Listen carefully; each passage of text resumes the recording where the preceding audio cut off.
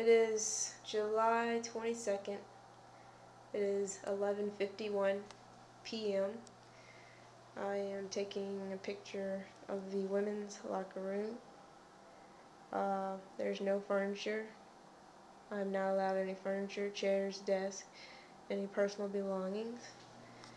This is a picture of the medical uh, cabinet where we store medical supplies.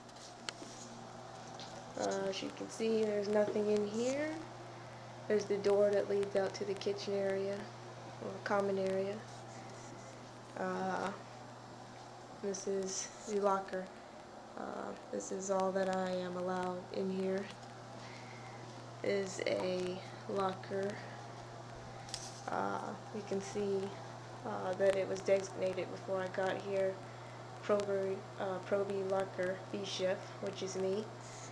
Um, that was the sign that was uh, put up there. But uh, I'm just showing, taking pictures, uh, showing my locker room and what I am allowed in here. And uh, as you can see, it's pretty small. No furniture.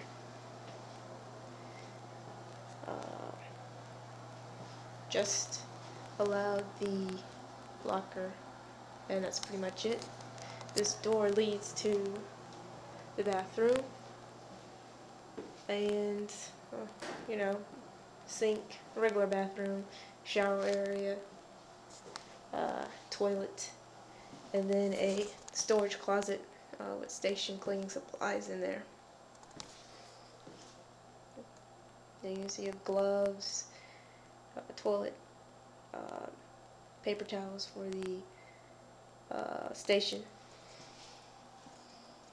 And that's it. This is Nona Allen. This is 72207. It was 1151 when I started this tape.